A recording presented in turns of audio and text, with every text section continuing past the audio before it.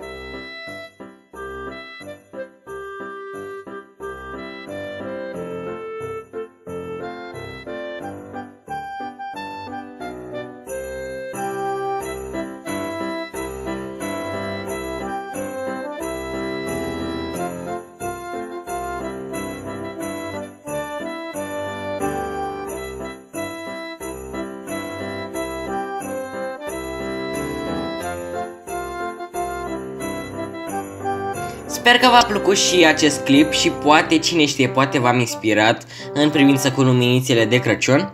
Nu uitați să vă abonați și să dați like și share acestui videoclip. Eu am fost Sebi de la DIY by Sebi Marcu și ne reauzim mâine cu un nou tutorial la ora 8.